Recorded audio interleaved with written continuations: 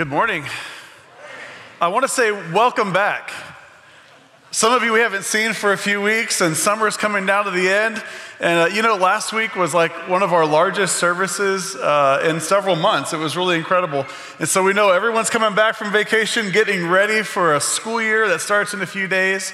And so I just want to tell you, welcome back, welcome home. We're happy to have you guys here with us today. My name is Chad. I'm one of the pastors here. I'm the missions pastor here at FBC. Uh, I'm, the, I'm the, the pinch hitter this week. Uh, three of our executive team are in Israel with 40 plus members of our church.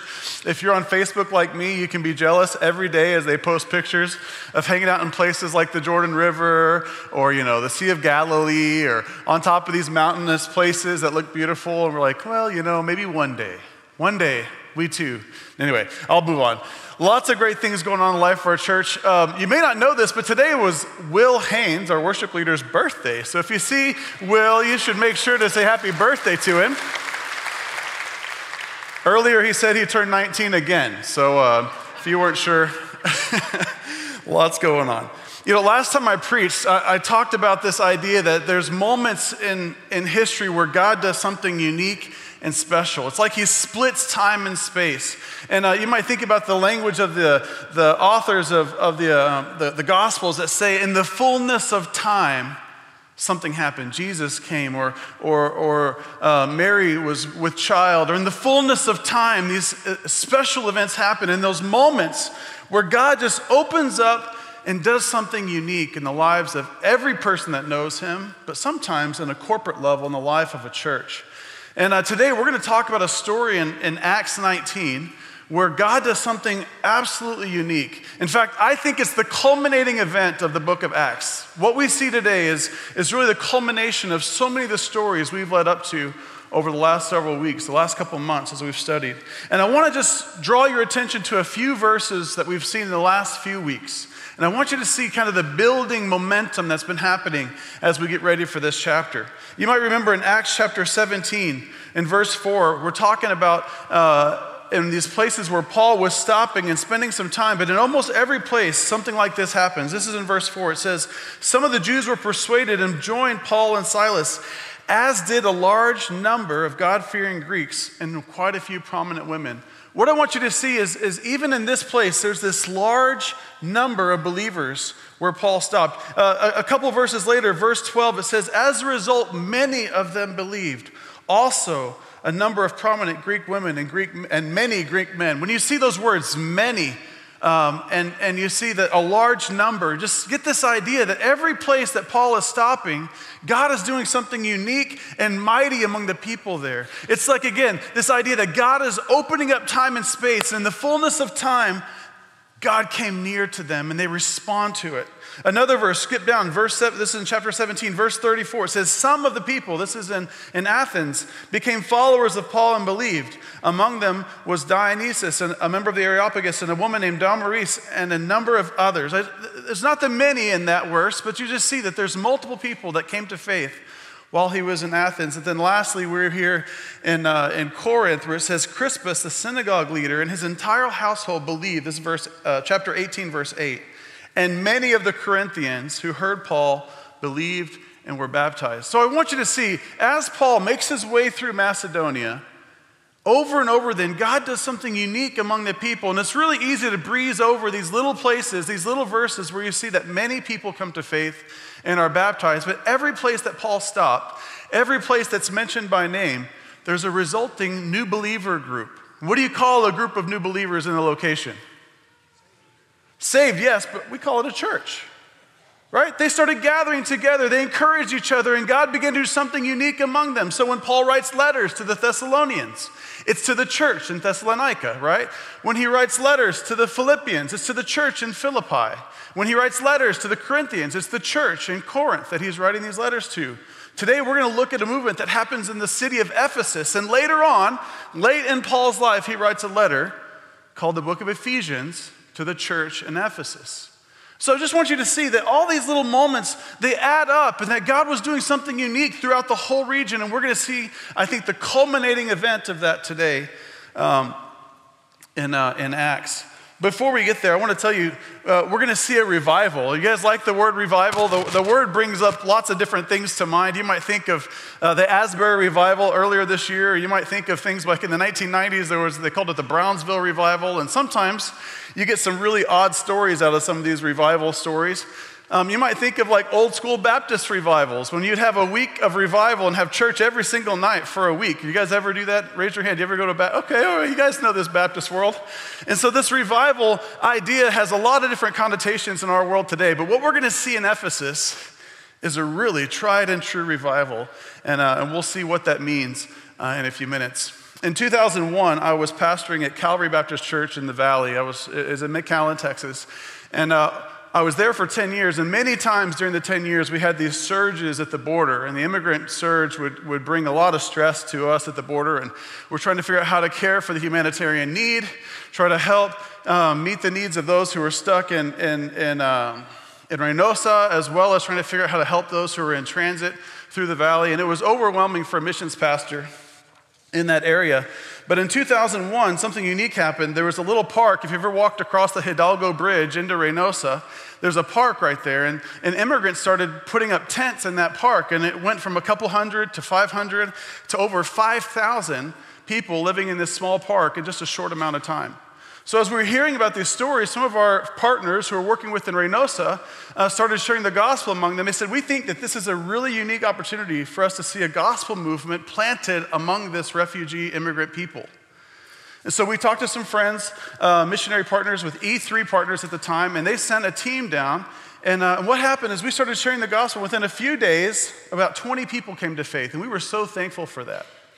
And then they sent a second team, and we took those 20 new believers who'd been baptized, and we trained them on how to share the gospel inside the camp because they were also refugees. They had a lot in common with the other people living in the camp. And this is what happened God did something unique and incredible. Within three days, we saw over 300 people make commitments to faith. We saw 30 people get baptized, and that was just the beginning. Within a few months, we had over a thousand people in that camp had made commitments to faith, and over 100 people had been baptized. And what was happening was incredible because every single day there was five or six Bible studies, worship times, and prayer times happening within the camp. And then every single day they would tell us that any new family that came, they would meet them and talk to them, ask them where they were from. They would share their faith with them, ask them if they needed anything. So they would give them tents and, and water and sometimes sleeping bags. And it was just an incredible moment. We saw God take our little bit. We didn't, I only spent two afternoons there. But there were so many people that got involved that what happened in a short amount of time is over a thousand people gave their life to Christ. And we were just so overwhelmed. The whole thing continued for almost a year until Reynosa, the city of Reynosa, um, moved the whole camp and they, they shut the whole thing down. They moved them out into these outskirts. And what was happening is every single week we would find out that people were coming into the U.S., some were going back home, and, uh, and our key leaders consistently changed over. But the great thing is, while they were leaving, they were training someone else, so the ministry never stopped happening. And it was this incredible thing. Even today, several years later, two years later, there's a, there's a, um, an Excel spreadsheet that has the names of people that came to faith, and there's a WhatsApp group that's keeping track of them, and they're spread out all over the United States and Latin America, and so many are still reporting that they share the gospel, and oftentimes we hear reports of people coming to faith through that thing that happened in that one year uh, stint there in, in Reynosa. And so it's, it was a micro movement, it was a micro moment where God did something unique and special, something we had never seen. Uh, I have pictures, if you want to see them, of baptisms happening in this blue barrel right out in front of the cartel owned um, casino right there on that park. You know, you're thinking the, the, cartel probably not thrilled about us baptizing people in their lawn, but it was, uh, it was a fantastic moment. And when I think about this idea of revival, that's the kind of thing I want you to think of, where God does something special and unique in a group of people. And it's something that you really can't plan for. It's not something that you can create, but when He shows up, it becomes so obvious that it's Him and Him alone. So, today in our story, Paul is going to, for the first time, see a massive city, the biggest city that we've seen him in so far. Jerusalem was a city, but it wasn't that big. And Paul ends up in Corinth, and Corinth was a big city as well, but Ephesus is much larger than Corinth. And so, in all three of Paul's missionary journeys, when he gets to Ephesus, it's a different beast. It's a different thing than anything we've seen so far. And the Lord shows up in a meaningful and powerful way. Let's pray as we live under Scripture. Father, we thank you so much for your word. And we pray that today that you will move among us, that God, you'll speak to us, and that God, you'll be here with us. We pray, God, that the words of Luke and the words of your Holy Spirit will prick our hearts, God, that the things you care about will become the things we care about. We love you. In Jesus' name, amen. Amen. If you were here last week, you heard Jason's sermon, and he was talking about the really introduction of, of Paul arriving in Ephesus. And he got to the end of the sermon, he talked about how uh, a people whose life is, is changed by Christ exhibits fruit. Do you guys remember that part? He talked about fruitfulness, and, and he talked about the, the fruits of the Spirit that we find in the book of Galatians. It says, The fruits of the Spirit are love, joy, peace, patience, kindness, gentleness, and self control. You guys remember that? And, and I want you to remember that this idea that when God moves inside of you, really the inside of you begins to change. The fruitfulness that happens interior to your life uh, begins to exhibit itself in the way that you live in your exterior. And I want to talk about, just mention real quick, that the, the faithful life of a believer is not just an interior change. There's exterior fruit that is also very obvious in the life of a believer. It's what Will was talking about a, little, a few minutes ago when he was talking about this idea that Jesus said, Not my will, but yours be done there's an interior motive that makes Jesus' faithfulness very obvious to him. But the exterior is obvious to everyone around him, right? That he did something so unique and powerful and different that we're all a little bit stunned by it. And so when we look at this story today, I want you to tell you that, that we're looking for the fruit of what happens when these people's lives are changed. We don't get to examine their interior, but we can see what God's doing based on what they're doing in their, their physical life, their obedience, the way that they walk. And, uh, and I want to just tie that to that verse that you might think of from John 15 that says, uh, If you abide in me and I abide in you, you will bear what? Much fruit, right? You've heard the verse before. We'll, we'll talk about that at the end as well. So, revival is the impact of a community of faithful followers of Jesus who are committed to putting him first. And so, we're going to see that here today in Acts chapter 19. So, turn with me. We'll be in Acts 19, starting in verse 8. And we're going to read the whole section and then we'll go back through it. So it says here that Paul entered the synagogue and spoke there for about three months, arguing persuasively about the kingdom of God. But some of them became obstinate. They refused to believe and publicly maligned the way. So Paul left them. He took the disciples with him and had discussions daily in the lecture hall of Tyrannus. This went on for two years, so that all the Jews and Greeks who lived in the province of Asia heard the word of the Lord.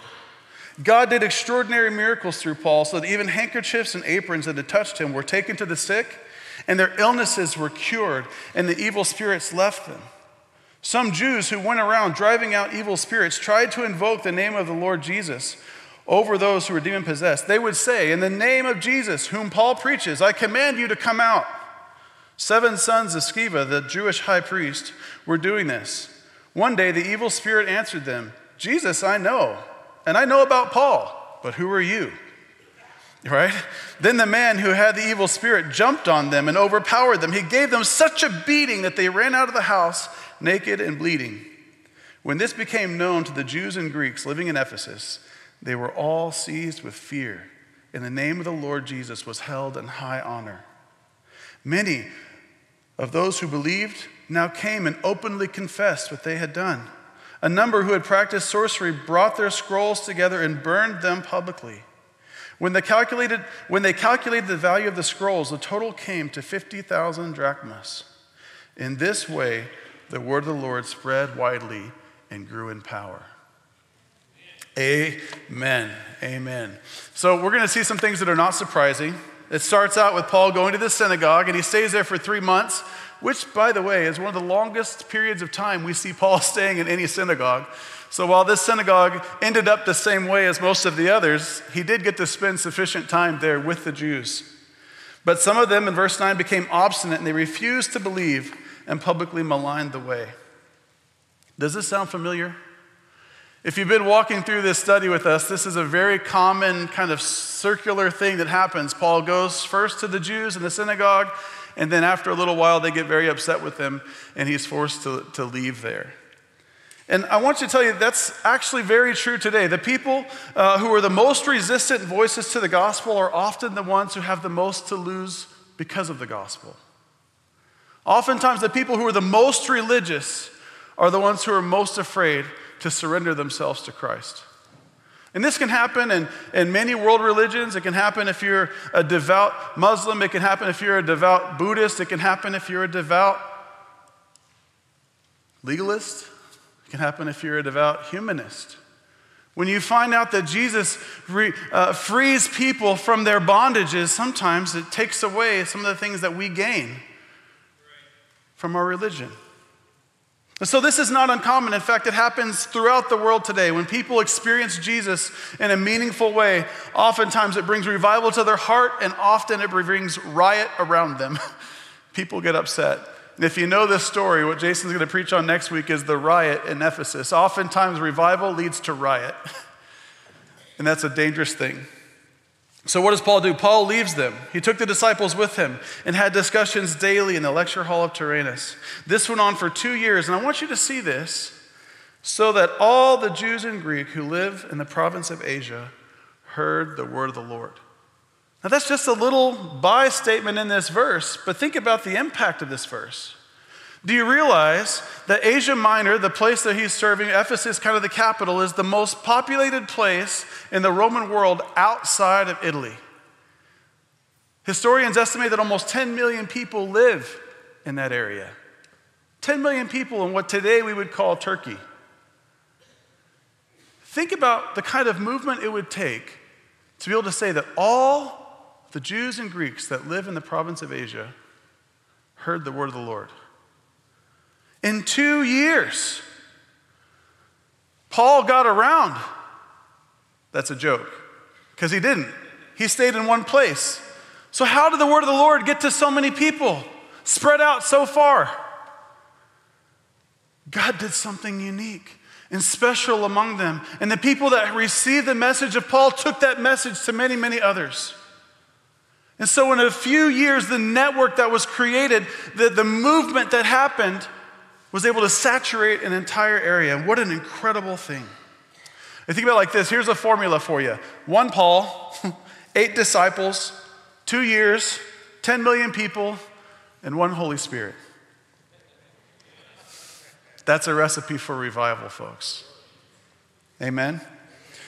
Like I said, this is a big word, revival. Today, often it's a planned event.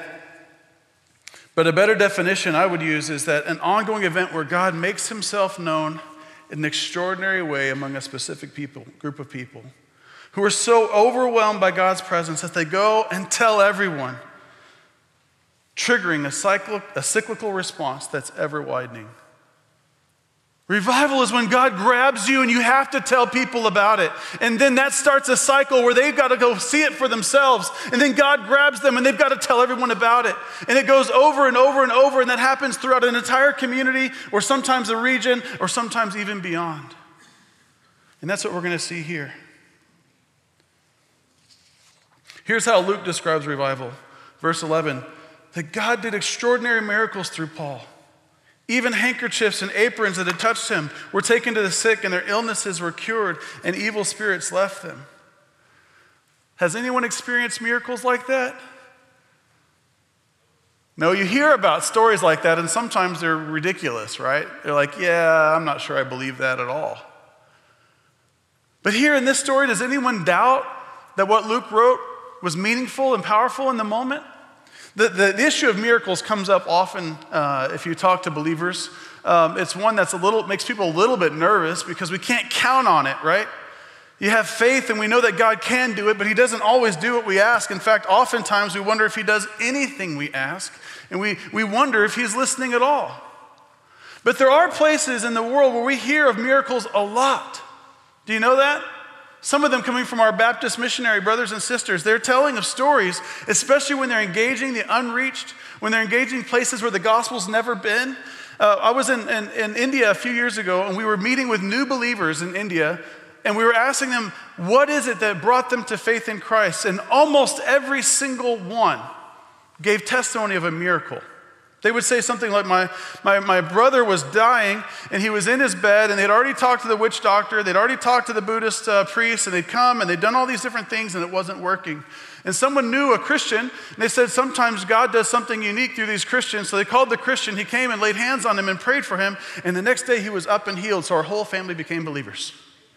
It was so simple, and you're like, wait a second, can I just dial down here? What did you say? You know, we want to, we're trying to want to get a formula or the method, or, but, but it really wasn't that. It was that these people who were far from God needed something unique like that for them to even believe that God was there or that He cared.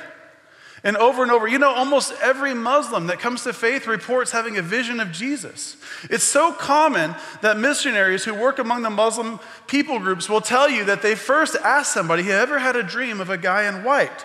And they go, How did you know? So, well, I know the guy in white. Let me tell you about him. They're like, okay, I want to hear about this. And, and it's reported over and over on the millions of times scale. I'm not, I'm not, I'm not exaggerating. Millions of, of Muslims have come to faith because Jesus is showing himself to them in their dreams. And then they look for someone who can tell them about the man in white. Or they might ask him about the people of the book. The Quran references the people of the book, the Bible, and that the people of the book will also be in heaven one day. So they want to know who are the people of the book and what does the book say? Over and over again, God does unique things when you're engaging people who are far from God. And that's a really a challenge for us. Uh, oftentimes we wonder why God doesn't do those miracles for us. I would tell you one is because we already have the hope that is in Christ. We know that when we die, we actually do fine, don't we? Paul says it's better for me to depart and be with Christ, but for your sake, I'll stay here. Right? It's, it's better for us. And, and so that's one thing. The other thing is we have a, a society and a culture where we look at everything else first. Right? If you get sick, how many of you go to get anointed by the elders and prayed for with hands on? First thing I do is I call the doctor's office. Right? And then I get some medicines and I give it some time. Most of us understand that God has provided for us in so many other ways that our spiritual, um, the spiritual hope is kind of our last result. It's our, our last result? No, it's, our, it's the last place we turn to. And so, without commenting too much on this idea of miracles, I want you to know that they still happen. We hear reports of it all over the place. But oftentimes, God uses those things to show himself faithful where people have never heard of him before. Which is why I think you see it so often in the book of Acts. Every place that Paul goes is an unreached place, it's a place where the gospel has never been. And so he's reaching out to a people that have never heard of the stories of Christ before, the stories of God before, even the stories of the Jews before. And God is abundantly showing himself faithful. What an incredible thing. Put yourself in a position with the lost and see if God doesn't show up. I want to hear those stories, okay? Go, go someplace where there's never been the gospel and tell me how that goes. Because I bet you we'll see God do something unique, different than what we expect. It was so amazing what God was doing that even the non believers thought they could do it. Right? They found out there's power in this name of Jesus, so even these guys who weren't Christians thought they could cast out demons in the name of Jesus. Now, that's pretty unique, don't you think? Isn't it amazing that God showed himself so faithful that people who were not even followers thought they could use Jesus' name and do something powerful with it? So they're casting out demons in Jesus' name and in Paul's name. And it doesn't go very well for them, does it? So if you pick up the story, verse 13, so the Jews, some Jews went around driving out evil spirits. And uh, you look at verse 15, the one day that the Spirit answered them, Jesus I know, and Paul I know, but who are you?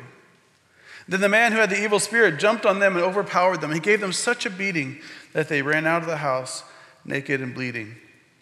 So, this is still in that, that story of what was happening in this revival in Ephesus. Jesus was moving powerfully through Paul in Jesus' name. Then there's this crazy story. And look what happens, verse 17. When this became known to the Jews and Greeks living in Ephesus, they were, look at the word, all this is a very, very famous story. They were all seized with fear, and the name of the Lord was held in high honor. Many of those who believed now came and openly confessed what they had done. The impact of the gospel had already been moving throughout Ephesus, but with this story, it was like this, this heavy kind of compounding moment where people were like, my goodness, this is not to be mocked. This is, this is a powerful moment where God has, been, has made himself known to an entire city, a big city. And now people are in fear of his name and they're willing to glorify God Most High. What an amazing moment. What an incredible thing that happened here.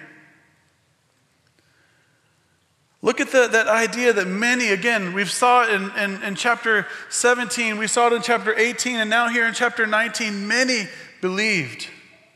And the impacts continue. Look at verse 19. A number of those who practice sorcery. Now, just to stop for a second, how many of you have practiced sorcery? Is this a common thing? No, it's not in our culture for sure. But think about the people who practice sorcery. If you had to imagine what they were like, do you think they're people that go to church regularly? regularly? Are these people that are filling our pews on a regular Sunday? They're not. These are people that serve something very different than the God that we worship. They don't look and practice and worship like we do. In fact, if we were to think about it, they worship something very different, maybe the exact opposite, right? And look what happened. They're so impacted by the gospel, and there's so many of these sorcerers that they took their scrolls and burned them publicly. What would it take to see someone who's devoted themselves so much to practicing sorcery and magic that they bring it all together into a local place in the middle of the city and they burn it together? What kind of impact is that? And then look, it says when they calculated the value of the, value of the scrolls, it came to 50,000 drachmas. Does anyone know how much 50,000 drachmas is worth? I checked, just so you know. It's basically a day's wage. A, a drachma was a day's wage, it was a, a one silver coin. Uh, today, the equivalent is $5.5 million. If you got all the sorcerers together from Boerne and we burned all of their books, how much do you think it'd be worth? I have no idea. I don't know if there's sorcerers in Boerne. But here's, here's my point the gospel so impacted the city that people who were worshiping something opposite of the gospel gave up a huge amount of wealth to repent on a public level. Can you imagine? Verse 20 is kind of the end of it. It says, And this way the word of the Lord spread widely and grew in power. You know, I, I, mentioned earlier that this is kind of the capstone of Paul's missionary journeys. The first journey into Galatia was in many smaller villages. Uh, they impacted a lot of people, and he, he found a couple disciples. Gaius and Timothy came from that area. Journey two, he, he's prevented from going into Bithynia, the north. He's prevented from going into Ephesus in the south. And he ends up going to Philippi and through Achaia down to Corinth. And that's the biggest city that he interacts with. While he's in Corinth, he picks up two people. You might remember this. It was in Jason's sermon a few weeks ago Priscilla and Aquila. Aquila is a Jew who's also a tent maker, and Priscilla is part of the royal family from, from Rome. They got kicked out when Claudius, the emperor, kicked out all the Jews from Rome. They moved to, to, to, Corinth, to Corinth. And so that's when Paul interacts with them. When he leaves Corinth at the end of second journey, he goes to Ephesus and he drops off Priscilla and Aquila. And they stay there and plant the church while, uh, while Paul goes back to Jerusalem and spends some time, probably a year and a half before he makes it back to Ephesus. And then he spends those couple years there in Ephesus. And, and while this powerful movement, this revival happens in Ephesus, he's discipling his best people. Luke is with him. Priscilla and Aquila are with him. The eight disciples of Paul are with him. And, and these men grow and they begin to, to be partners with the gospel. And they're doing the things that Paul is doing to such an extent that you'll see early in chapter 20, Paul sends uh, uh, Timothy and others out to go do ministry on their own. Here's an important thing. There, as Ephesus winds down and Paul begins to, to move and, and powerful things are happening, he sends out a large team that goes and plants the church in Rome. At the end of the book of Romans, you see a list of all the people that left with Paul, and he, or left, that left when Paul sent them. And he, he knows all these people by name, and he's saying, Greet these people. But the first ones on the list is a couple named Priscilla and Aquila. Priscilla got to go back home where she was from to Rome, and she hosted the first church in Rome. So think about this couple. This Priscilla and Aquila that started there in Corinth, goes with them and helps plant the church in Ephesus, and then goes and plants the church in Rome. There are some uh, missiologists, they're, they're, missions experts, historians, that say that, that this movement from Ephesus is the greatest movement in human history. That what started there and the overwhelming impacts of what came out of Ephesus continues to impact us today. You know, I want to ask you a question. What's it going to take, church, to see God make himself known in such a powerful way here? in Boerne and in the hill country. What would it take? What's it going to take to see God do something so unique and special among a specific people group, maybe this one here, sitting together, that the world will see him and want him desperately? What would it take? It's going to take great faith. It's going to take a family of faith that's willing to put Christ first in their lives. It's going to take a people who are willing to see the needs of the world as worthy of spending ourselves. It's going to cost us something. You know, five or ten years after Paul's work in Ephesus, he's in Rome, he's under house arrest. He's waiting to see the Emperor Nero to, to find out what his fate will be. And he writes this letter to the Ephesians. You have it in your Bible, you've probably read it. It's a powerful letter. And I want you to look at these verses with me Ephesians 3 14 through 20. And this is just a beautiful picture of Paul's heart for the Ephesian church. So here's Paul in prison. He says this For this reason I kneel before the Father from whom every family in heaven and on earth derives its name. I pray that out of his glorious riches he may strengthen you with power through his Spirit in your inner being, so that Christ may dwell in your hearts through faith. And I pray that you, being rooted and established in love, may have power together with all the Lord's holy people to grasp how wide and long and high and deep is the love of Christ, and to know that this love surpasses knowledge, that you may be filled to the measure of all the fullness of God. Can you imagine? And he continues, Now to him who is able to do immeasurably more than all we ask or imagine, according to his power that is, that is at work within us, to him be glory in the church and in Christ Jesus throughout all generations, forever and ever. Amen. Amen. If this is the prayer of Paul for the Ephesians, I would ask that you begin praying that prayer for our church and for our city, those Boerneans. I don't know if that's the right way to say it or not. Boerneites. That we would grasp how wide and long and high and deep is the love of Christ. That we'd be filled to the full measure of God to him who is able. Do you know he is able? He is near to us. And he says he'll never leave us or forsake us. Today, as we come to the end of our, our service, we're going to take the Lord's Supper. And uh, I was supposed to mention this before I started preaching, and I got too excited. But if you haven't gotten one of these yet, uh, our ushers, Dennis back there, and others, um, have these. So if you don't have one of the Lord's Supper elements, please raise your hand so we can get you one real quick.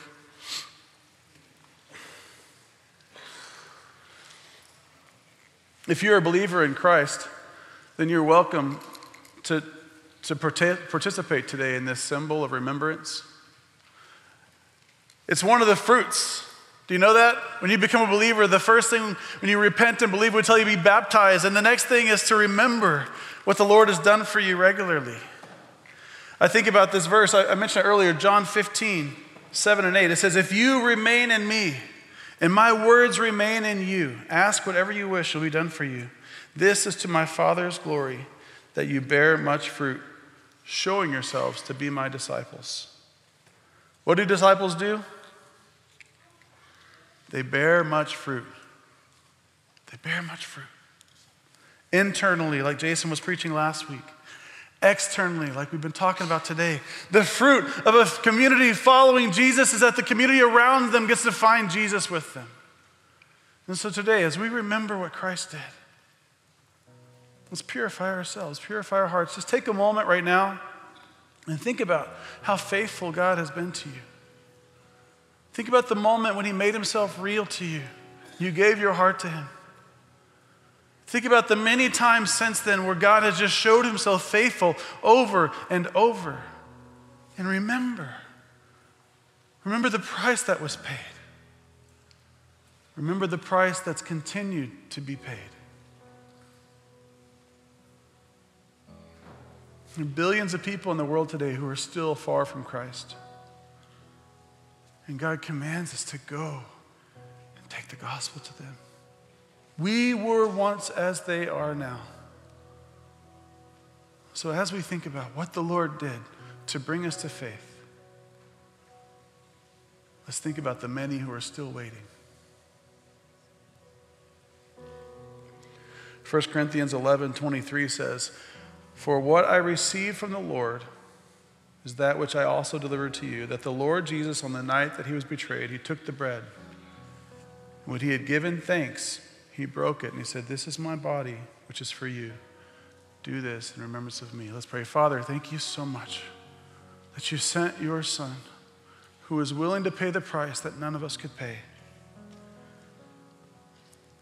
We thank you for his sacrifice and we remember. Jesus' name, let's take the bread together.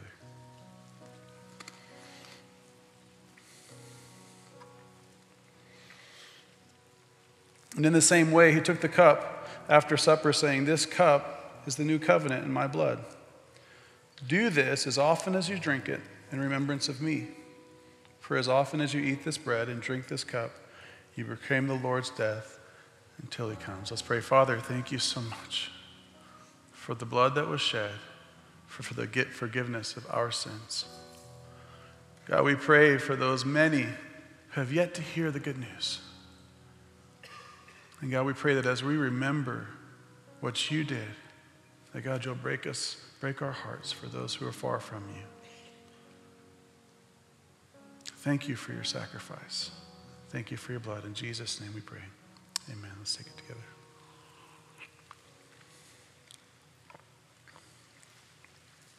When you see a story like this in Ephesus, I hope that it grabs your heart. I hope that you think of the people who you know who are far from God I hope you think about the people who you know who are, are desperately searching for truth in their life and have yet to find it.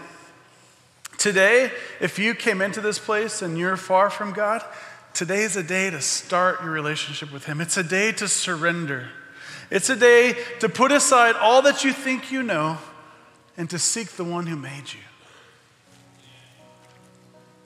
Don't wait a moment longer. Today is a day to repent of your sin. It's a day to repent of your religion. It's a day to turn to Jesus. For those of you who are followers of Christ already, today is a moment to take heart and be filled with the knowledge that God is near. And He does not leave us or forsake us. You are not alone, no matter how difficult things might seem right now. And lastly, for those of you who call yourselves followers of Jesus, be faithful.